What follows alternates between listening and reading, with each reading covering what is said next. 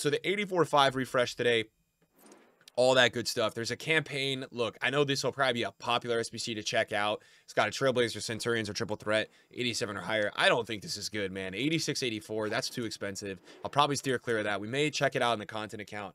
Okay, I think I know. Well, I was going to think of doing a base hero player pick, but now I'm like, I think I know what I'm doing here. And, and just, yeah, I mean, obviously this is overpriced, but we'll test out the content. We'll see how it is. Um, you guys know the vibes as always. And we got to make sure we use some of the players we just packed because I'm like literally notorious for not using the players that I pack and it just becomes so bad and it becomes a meme. So let's make sure we do that. Um, 86 squad, meaning we can probably submit a little bit less here too.